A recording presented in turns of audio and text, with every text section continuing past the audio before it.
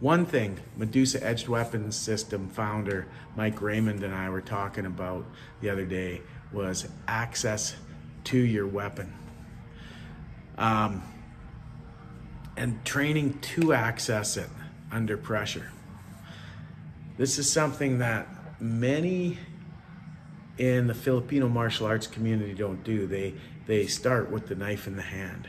It, it's a good idea and a good tactic if you find yourself in a place where lethal force violence may take place that you do access your knife ahead of time and have it in your hand, maybe hidden from view, but there ready to be used. But the reality is there's a large likelihood that we'll have to access it under pressure. And I've been working on this for a long time and it's not always easy. Um, today I'm gonna use my uh, Jeff Hardy Soul Taker.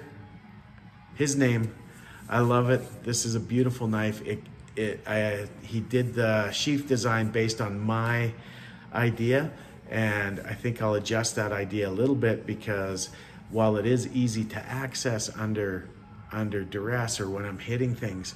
Um, it's also very easy for someone else to access it and it can fall out of the pocket at the worst times because I made it so the the sheath it would just have no friction just come out really the sheath is just there to protect my pocket and protect my skin um, but if I fall over if I roll there is a chance that I'll lose the knife.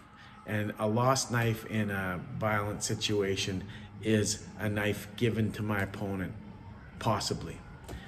I don't want to give him a gift.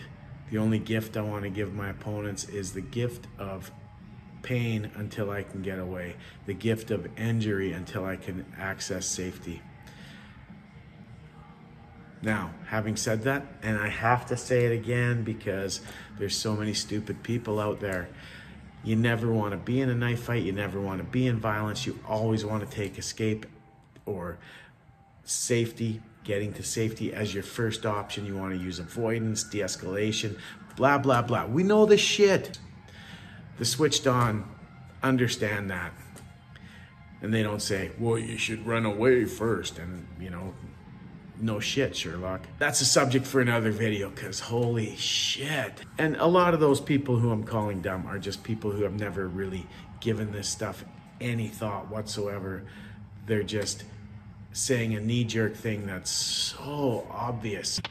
Well, now that I got sidetracked from the point of the video here, let's look at some of these, uh, this training where I'm working my striking and then reaching for my knife.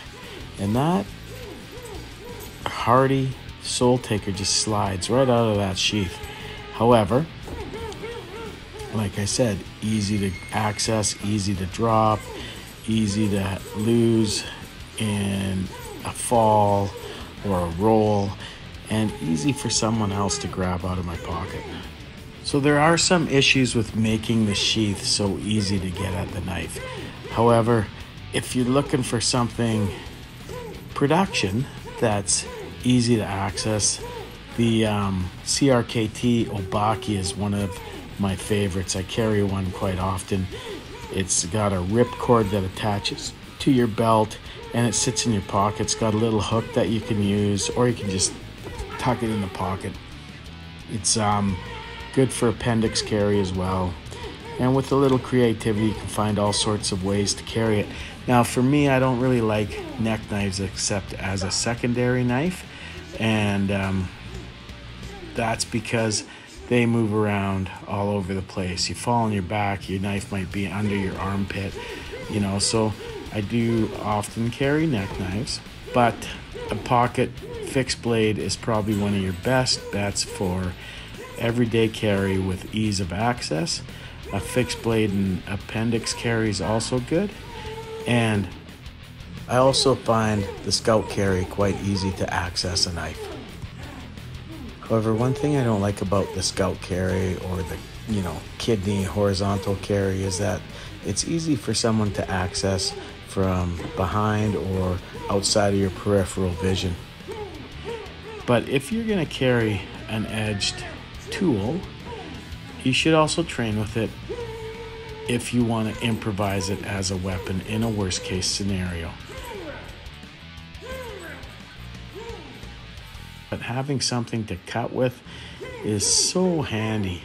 It's so handy in everyday chores. It's nice to have. And a fixed blade is really nice because if you're using it for heavier cutting chores, it is way less likely to fail. Fixed blades are the way to go if you are using it for any kind of bushcraft or anything like that. But even as an everyday tool, it's nice having a fixed blade because you could do so much more without having to worry about pins and locks failing and all that kind of stuff. And the nice thing about a pocket fixed blade is that it's easy access and you get used to reaching to the same spot that you will reach if you're carrying a folder. So even though there's one more step with a folding knife, carrying a pocket fixed blade allows you to use the same draw as you would with your folder, except then you have to open it. And this is the advantage of the fixed blade for quick access. So when I'm working this stuff, the beauty of the Medusa system, I have to say, is the idea of shock and latch. If you are effective at this initial preemptive strike, you will likely, you're dealing with one opponent, not have to reach for your edged weapon or whatever other tool you have because you can use the same methodology for a pocket stick, a flashlight, a pen, whatever else you may be carrying.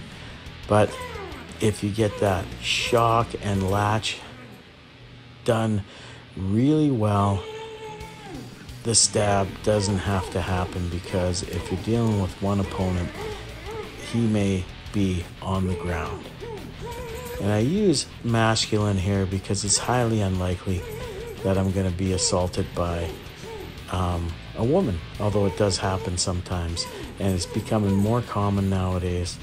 But men are statistically, men are way more violent and are more likely to be your attacker. Way more likely. I'm getting a little off the topic of weapons access. I better get back on course. The Hardy Soul Taker. A fucking excellent blade. Neck knives carried in the pocket with a shortened chain attached to a belt or a belt loop is another excellent way to carry a fixed blade in the pocket. Pocket fixed blades can also be neck knives with aftermarket um, clips put on them. There's a lot of different ways that you can carry inexpensive production knives in the pocket, and that is a great way to access a weapon under pressure because we go into our pockets all the time. Now here I'm working with a knife out of the pocket and just trying to practice some quick sniping stabs and slashes, mainly stabs though. I am mainly targeting the eyes, the throat, and even the lungs a little bit here because I've been inspired by watching Scott Babb move in his um, Libre fighting videos, and I think it's a great tactic. Even though it may require a higher level of skill and training, I think it is a valid tactic, and I'm adding a bit of that to my training. Thank you.